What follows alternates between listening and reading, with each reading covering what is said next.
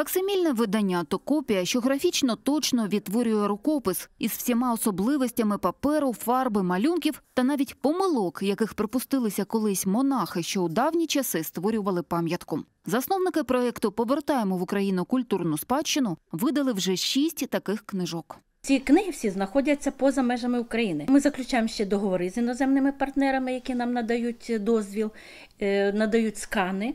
І ми тоді в Україні його відтворюємо і відроджуємо до нового життя. Віденський Охтойх це богослужбовий збірник, створений на Волині у 12 столітті. Яким чином він опинився у Віденській національній бібліотеці, й досі невідомо.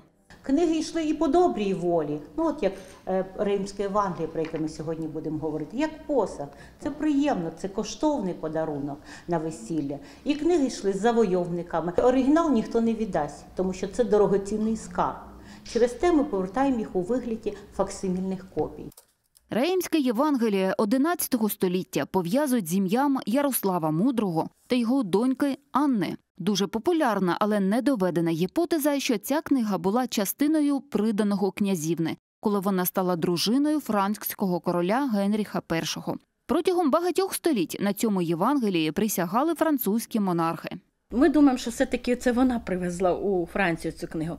Але що наші вчені довели точно, що книга написана в один, на початку 11 століття, що це е, писали її в князівському скрипторі, а скрипторі, скоріш за все, якщо це в Києві було Ярослава Мудрого, при, на території Софійського собору. Легендарна аура Євангелія Анни Ярославни така, що видавці навіть знайшли спонсорів, які допомогли видати книгу, надихнувшись гуманістичним проектом.